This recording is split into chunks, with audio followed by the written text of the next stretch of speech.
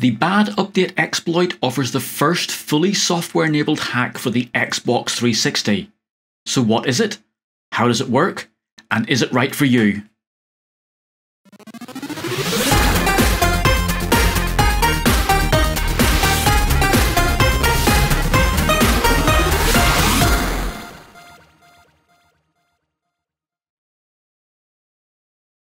Hi, and welcome to Bytes and Bits. Since the Xbox 360 was launched in 2005, people have been looking for a way to hack it that doesn't involve opening up the console, soldering components, and attaching NAND memory programmers. So in 2025, this year, um, somebody called Grimdoomer um, finally managed to do this with their bad update exploit.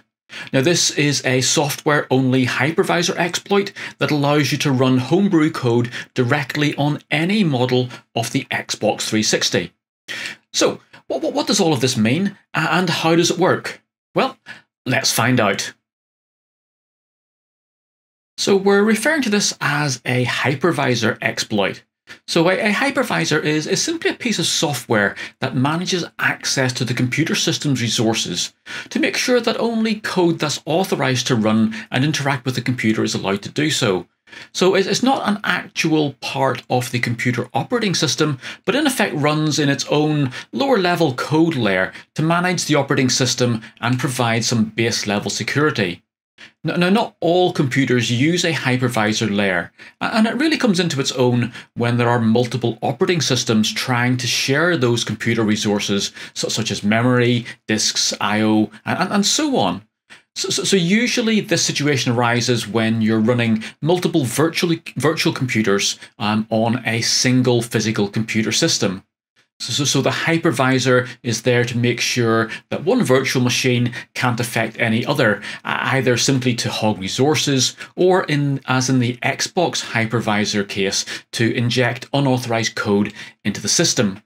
Now, if you've ever installed a virtual machine on your Windows or Linux or Mac computer, you'll probably have heard the terms sort of Hyper-V, KVM, and so on.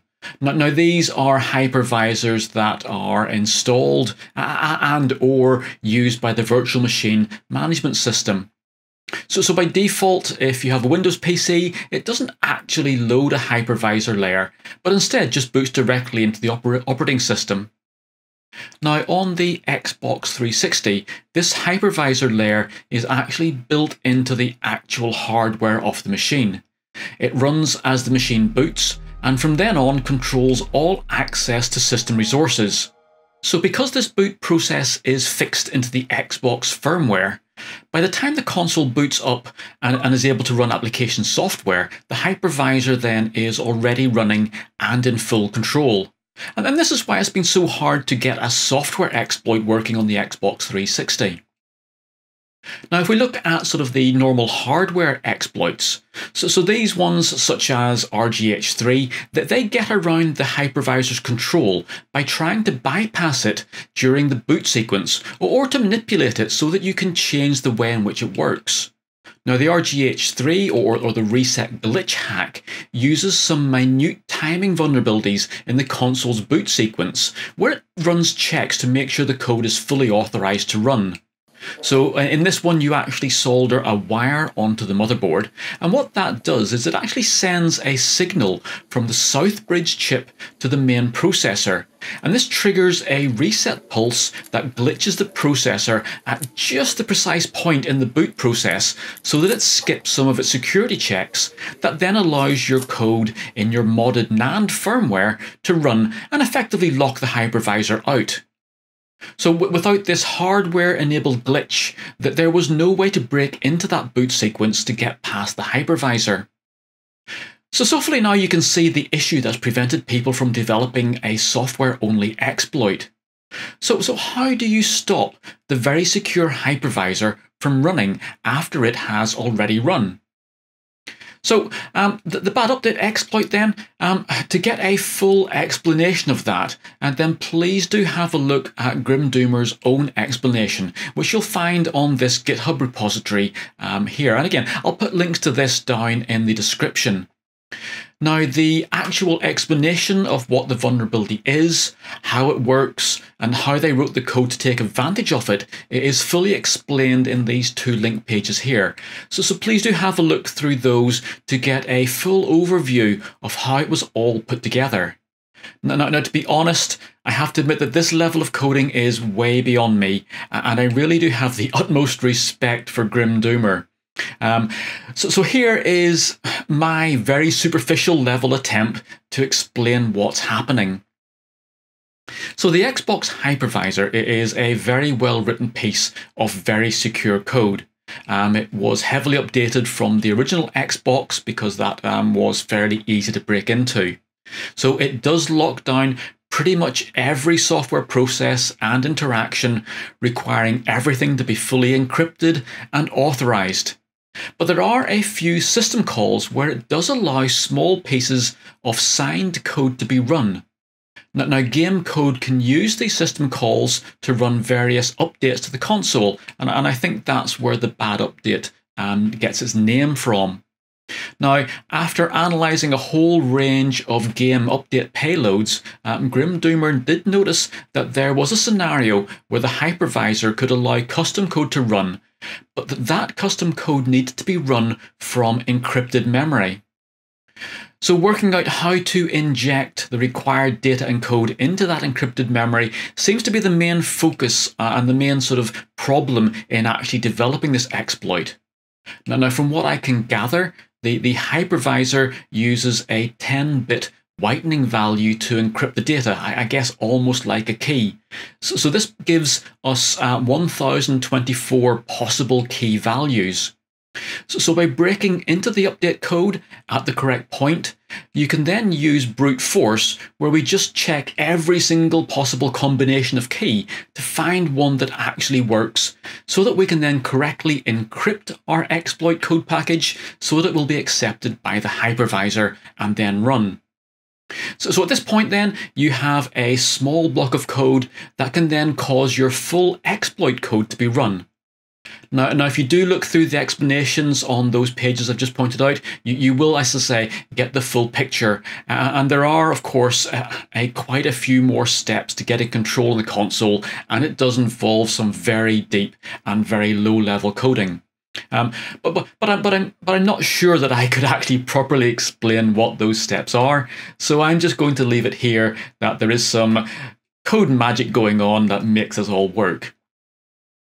So, so basically, then, um, when you run the exploit code as part of a game um, that, that does exhibit this hackable update process, then it tries to guess this whitening value to allow the exploit code to be injected into the hypervisor system um, call. And when it gets that right, you then end up with a hacked console. So of course we need to think about, is this a bad update hack actually a better option than one of our things like the RGH3 hack? Well, with the Xbox 360, the hope has always been to get a software only mod that will work with all models, and also one that would then remove the need to do some quite fiddly soldering to the motherboard, along with the NAND reprogramming, etc., that goes with the RGH3 style mods. Now, as, as, as Grimdoomer um, themselves states, um, that the bad update exploit does offer this software only solution, but it doesn't replace the hardware mods, and, and, and they see it as more of a proof that it can be done rather than a fully fledged solution in itself. Now, now the bad update mod is actually non-persistent, so, so once you run the hack, it will allow you to do most of what you'd be able to do with an RGH3 exploit. But, but since it's using code injected into the runtime configuration of the console, as soon as you remove the power and reboot, the exploit, of course, is removed. Uh, and, and you then have to rerun the exploit every time you reboot the machine. Now, as this can take up to 20 minutes for the exact timing conditions to be met, uh, after you reboot, it's not as user friendly as, as the hardware mods. Now, now, the good part of it, of course, is that it will run on all Xbox 360 models. Now, not all of these can be hard modded, so if you've got a Winchester motherboard in your console, then Bad Update really is your only option. So, again, a big, big shout out to Grimdoomer for this truly inspired piece of coding. I say I, I do not know how, how he managed to do that. That is way beyond my capabilities. If you do want to give it a go, then, please do. Now, I'm not planning on using it on my Xbox 360, so, so I'm not going to be doing a modding video myself. So, so please do have a look at Mr. Mario's installation video if you want to have full instructions on how to install the exploit. And again, I'll put links to that down in the description below. So I hope you found this video useful and informative. I must admit I've definitely learned a lot more about the security of the Xbox 360 making it. If you have enjoyed this episode, then, then please do click that like button and make sure you subscribe to the channel for more modding, gaming, electronics and making projects. I look forward to seeing you again very soon, and bye for now. For more games programming, electronics projects and retro gaming, please make sure you like this video, subscribe to my YouTube channel and visit my website.